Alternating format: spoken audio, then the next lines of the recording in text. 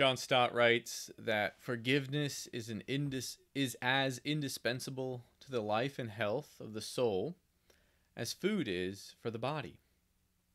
Therefore, as we move from a consideration of our material needs in the fourth petition, which is give us this day our daily bread, to now a consideration of some of the spiritual needs in the fifth and also the sixth petitions, uh, we move from uh, the indispensability of food to the body to forgiveness for the soul.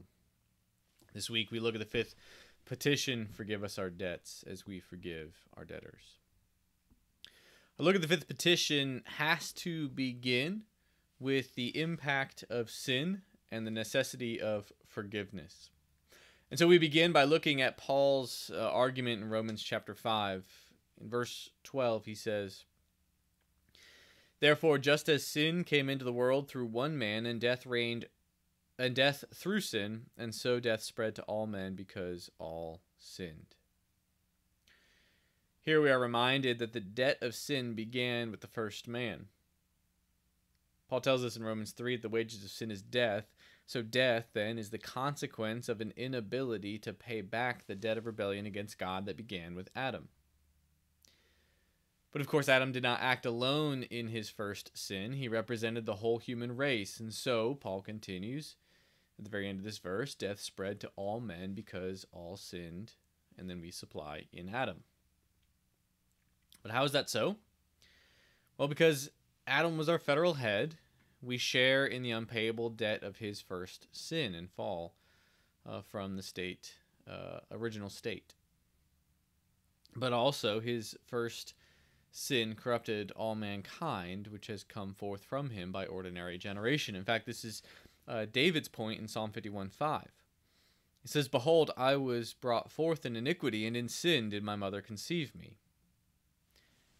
David is not commenting here on his own peculiar origin, but rather, more generally, on the original corruption that is inherent in all of mankind. Everyone is born in the state of sin, everyone is conceived in sin.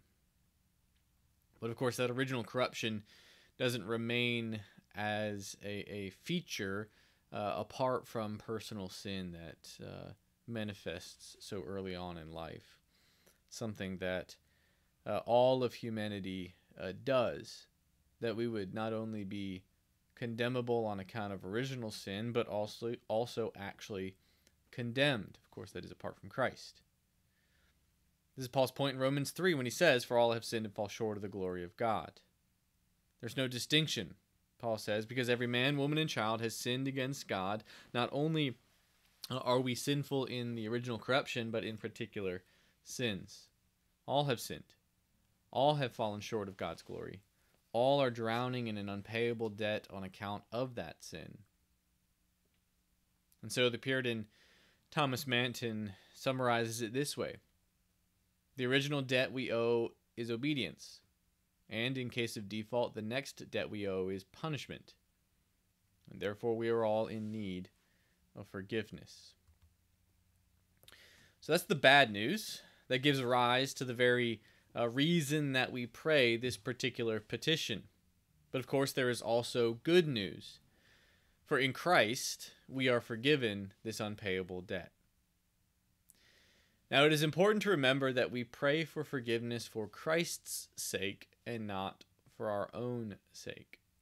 In a general way, Daniel captures this well in his prayer in Daniel chapter 9 for exiled Israel. Verses 18 and 19, extracting them out of his prayer, he says, Oh my God, incline your ear, your ear and hear.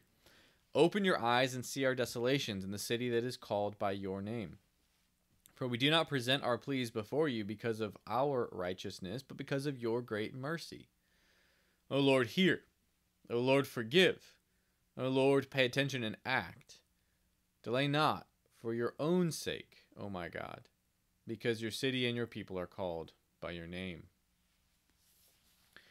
Note these two verses how Daniel uh, frames everything that God would act for his own sake. Jerusalem, he says, is the city of God. And for it to lie desolate is a matter of God's honor more than it is a matter for God's people.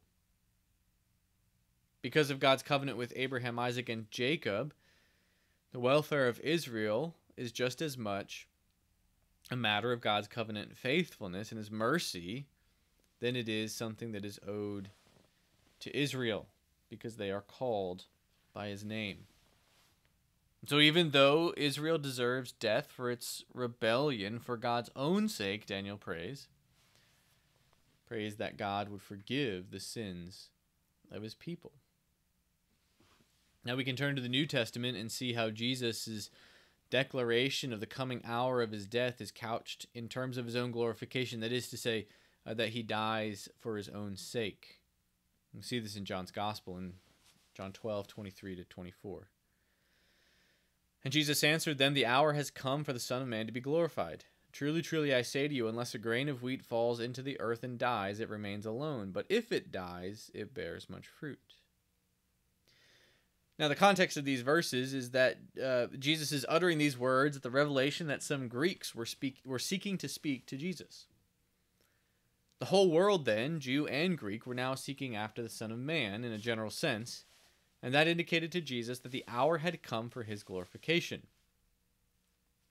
But as he says here in verse 24, his glorification is wrapped up in his substitutionary death so that the benefit of his glorification is not strictly limited to his own glory.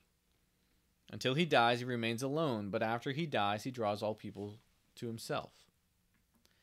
The overriding point is that his death, which is, of course, an implied on account of our sin, is accomplished primarily for his sake and secondarily for our sake.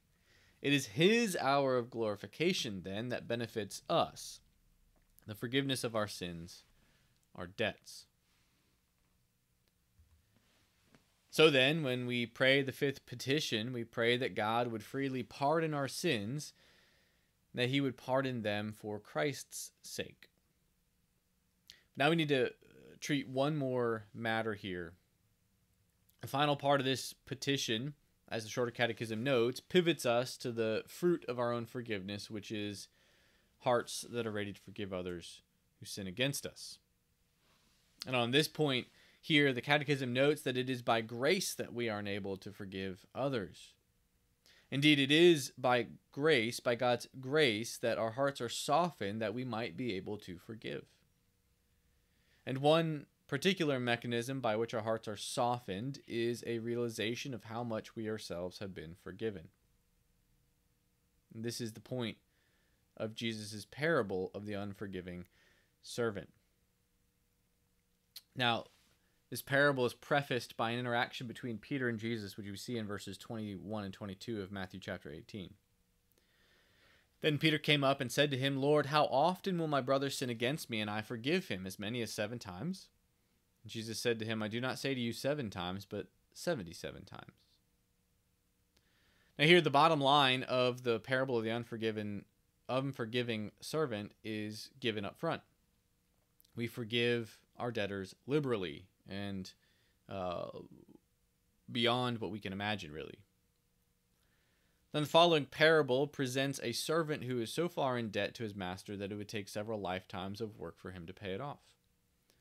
That is to say, that his debt is impossible to pay off. And of course, the master's recourse when he calls in the debt is to put the servant in prison until he can pay it off which, given how much it is, he would never be able to do, so the servant is essentially consigned, uh, in principle, to death.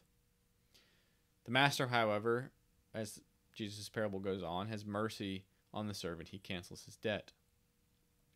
Shortly thereafter, the servant finds another servant who owes him about three months' wages in comparison to the several lifetimes of wages that he owed and this servant treats him contemptibly, throwing him in prison until he can repay the debt. Now, when the master gets wind of this, he says the following You wicked servant, I forgave you all that debt because you pleaded with me, and should not you have had mercy on your fellow servant as I had mercy on you? The point I hope is clear because we have been forgiven much, we forgive others much. Therefore, this fifth petition includes with it an acknowledgement that one fruit of God's forgiveness should be our own forgiving hearts. May we then forgive much because we have been forgiven. Let's move on now to a couple discussion questions here. First, does Jesus' parable in Matthew 18 require us to forgive every sin against us without exception? What, if any, would be the limitations? Second, what spiritual benefit do we get from regularly praying this petition? Let's go to God in prayer. Our gracious Heavenly Father, we thank you that you have forgiven us much and that uh, as uh, we come to know your forgiveness, your grace, and your mercy, that you, O God, uh, soften our hearts to forgive those around us. We pray, Lord, that you would uh, continually bring this uh, prayer to our mind, this petition to our mind, uh, that we would be um, reflections of your great love and forgiveness. And we pray all these things in the name of Christ our Savior. Amen.